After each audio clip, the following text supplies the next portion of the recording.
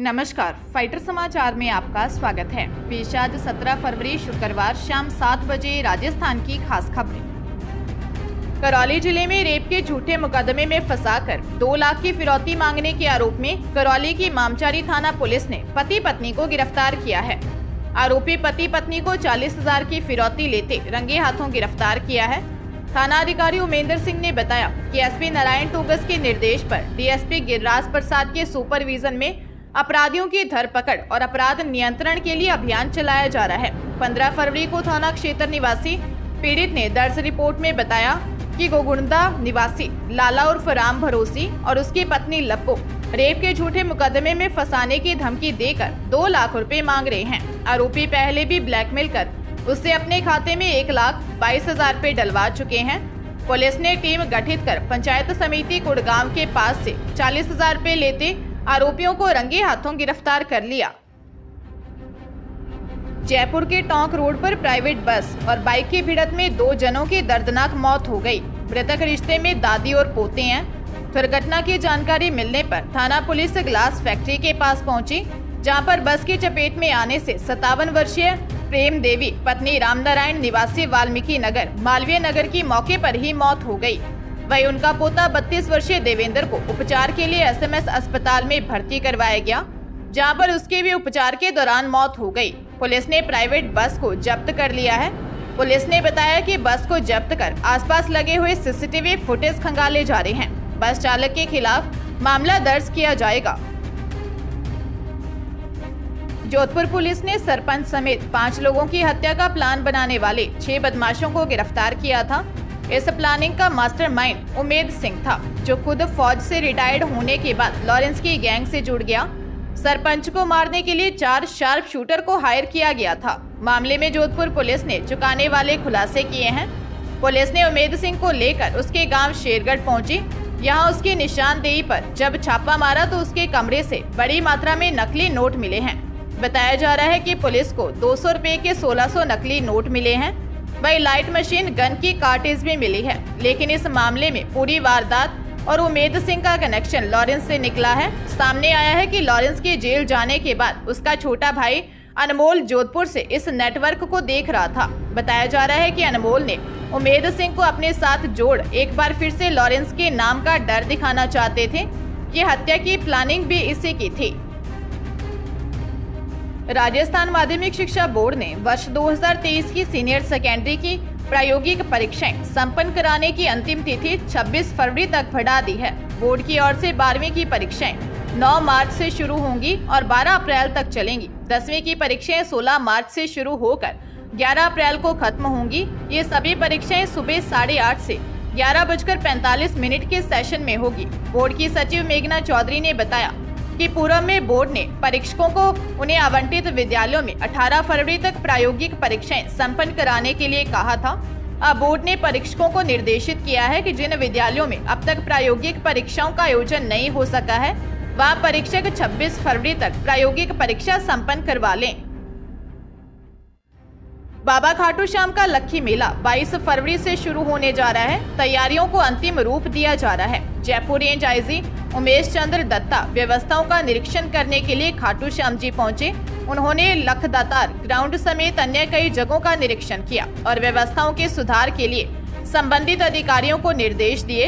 इसके बाद आईजी ने बाबा के दर्शन किए। सीकर एसपी करण शर्मा ने बताया कि इस बार आठ सेक्टर में एरिया को डिवाइड कर व्यवस्था संभाली जाएगी। ज़्यादा भीड़ होने पर श्रद्धालुओं को कहाँ रोका जाए, इसके लिए भी जगह फिक्स की जा रही है। शर्मा ने बताया कि इस बार मेले में करीब 4000 पुलिसकर्मी तैनात किए जाएँगे। इसके अलावा करीब 1000 स्वयं सेवक और करीब 1000 से ज़्यादा प्राइवेट गार्ड सुरक्षा व्यवस्था संभालेंगे। मेले में सुरक्षा कर्मियों की संख्या करीब 6000 से ज़्यादा रहेगी। अलवर में डांस शूटिंग का झांसा देकर एक मेवाती डांसर के साथ रेप की वारदात सामने आई है। डांसर ने सदर थाना में दर्ज रिपोर्ट में बताया कि मैं यूट्यूब चैनल कलाकार हूँ। मुझे फ़ोन कर अलवर बुलाया गया। गाने शूट करने थे। पहली बार आई तो तीन चार लड़कियों के साथ गानों पर डांस किया था। इस बार कहा गया कि वही लड़कियाँ मिलेंगी। लेकिन अलवर के ढाई पैड़ी स्थित मैरिज होम आए तो यहाँ कोई लड़की नहीं थी। फिर भी मैंने गाने पर शूटिंग की। इसके बाद मुझे ड्रेस चेंज करने को बोला। मैं कमरे में गई। वहाँ पीछे से मुजिम स्टूडियो संचालक ने आकर मुझे पकड़ लिया और रेप किया। पुलिस ने मुलजिम मुजीम निवासी महारी का फिरोजपुर छिरका को गिरफ़्तार कर लिया। पुलिस मामले की जाँच में लगी है। जयपुर में एसएमएस हॉस्पिटल की प्लेटिनम जुबली सेलिब्रेशन के मौके पर खेले जा रहे डॉक्टरों की क्रिकेट मैच में एक डॉक्टर की खेलते समय डेथ हो गई।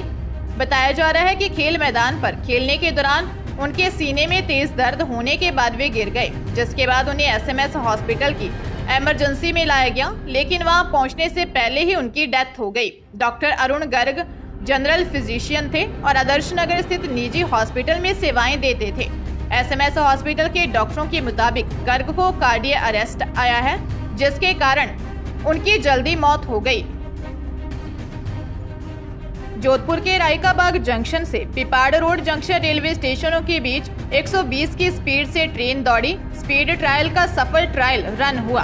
वेस्टर्न सर्किल के रेलवे संरक्षा आयुक्त आर के शर्मा ने उत्तर पश्चिम रेलवे के जोधपुर मंडल पर रायकाबाग जंक्शन से पिपाड़ रोड जंक्शन रेलवे स्टेशनों के बीच दोहरीकृत रेल लाइन पर 120 किलोमीटर प्रति घंटा की गति से सफल स्पीड ट्रायल किया। उनके द्वारा फिट मिलते ही इस पर ट्रेनों का संचालन प्रारंभ हो जाएगा। डीआरएम गीतिका पांडे ने बताया कि रेलवे संरक्षा आयुक्त शर्मा ने मंडल के पिपाड़ रोड से रायकाबाग जंक्शन रेलवे स्टेशनों के बीच 44 किलोमीटर रेल मार्ग पर कराए गए दोहरीकरण कार्य की गुणवत्ता की बारीकी से निरीक्षण करने के बाद मुख्यालय और मंडल के वरिष्ठ अधिकारियों के साथ सीआरएस स्पेशल ट्रेन से 120 किलोमीटर प्रति घंटा की रफ्तार से सफल रन ट्रायल लिया।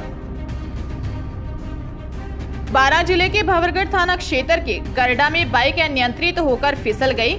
हादसे में बाइक सवार युवक गंभीर रूप से घायल हो गया, जिसको इलाज के लिए जिला अस्पताल में भर्ती करवाया गया। अस्पताल में इलाज के दौरान उसकी मौत हो गई। अस्पताल चौकी के कांस्टेबल कलुआ राम ने बताया कि किशनगंज थाना क्षेत्र के सिमली निवासी 27 वर्षीय रामहेत सहरिया बाइक से किसी काम से गया था। शाम को वापस आते समय गरडा के पास उसकी बाइक अनियंत्रित होकर फिसल गई। घायल बाइक सवार को राहगीरों ने भवनगढ़ अस्पताल पहुँचाया। जहाँ से उसे बारह रेफर कर दिया। जिला अस्पताल पहुँचने पर डॉक्टर ने उसको मृत घोषित कर दिया। दौसा ज़िले के लवान पंचायत समिति की ग्राम पंचायत बड़ा गाँव में बेटी के कन्यादान व विदाई के बाद पिता की तीये की बैठक में बेटी नहीं पहुँची। बैठक के दौरान माँ कुशल्या देवी की तबीयत ज़्यादा बिगड़ जाने पर परिजन बैठक के बीच में ही छोड़कर इलाज के लिए जिला अस्पताल लेकर रवाना हो गए। पिता की मौत के बाद देर रात दुल्हन अचुक्की को मूर्छित अवस्था में परिजनों ने विधि विधान से फेरे दिलवाकर रात्रि को ही दुल्हा व पाँच रिश्तेदार मेहमानों के साथ विदा कर दिया। शादी में देने के लिए लाए सामान को परिजनों व रिश्तेदारों ने टेंपो में भरकर दुल्हन के साथ ही रवाना कर दिया। गुरुवार सुबह मृतक रामकिशोर सैनी की गमगीन माहौल में तीसरे की बैठक आयोजित की गई, जिसमें स्थानीय लोगों सहित बड़ी संख्या में रिश्तेदारों ने भाग लिया।